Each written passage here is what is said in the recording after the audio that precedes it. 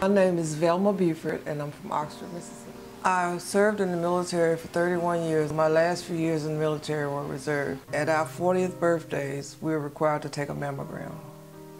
So I had I had drill that weekend. I took a mammogram. They said they saw something, but they didn't know what it was. So I had to come back home and do another test. And the doctor was not satisfied with the test, and he wanted to go in and do a biopsy. So I did it. And he finally called me back in, and he told me that it was cancer.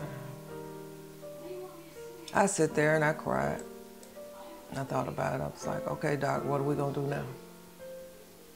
He said? I said, what are we gonna do now? Because I'm beating this. I feel like God left me here for a reason. I had an accident in 2006 while going to work one morning, and I, in the process of the accident, I ended up having to be in the hospital. I ended up having a broke neck, brain damage, and I ended up having a stroke. And I don't remember anything about the accident. It was hard going back to being an infant at 46 years old, and you can't do anything for yourself. And with the with the halo on, I really couldn't do anything. I couldn't turn my neck. I couldn't do anything. And for the longest, I didn't even know why I was in the hospital because I thought I had another bad breast report. It took a while to get back to normal. I had to start out slow. My boss even let me come to work for a few hours a day because she knew I wasn't the type of person to sit home. Yes, ma'am. And your studio is 2200 a month, or has that changed? You know, you have to do, you have to do what you have to do. There's not enough hours in the day, and people always tell me sit down, but how can I sit down when there's so much to do? When I think of something I have to do, I just get up and do it. I cook, I work, I take care of my mom, I do it all. Okay, once more. There we go.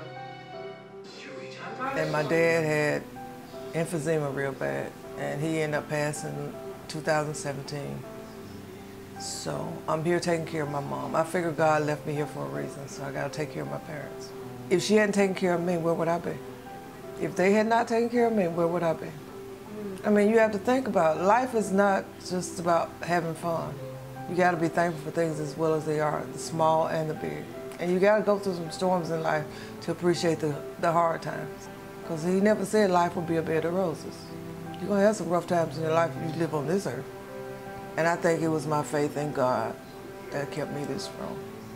Because if I hadn't, who knows where I would be. A friend of mine told me one time that it does not kill me will only make me stronger. And I think all of this made me strong. Everything I've gone through, everything in life happens for a reason, and this just made me a stronger person.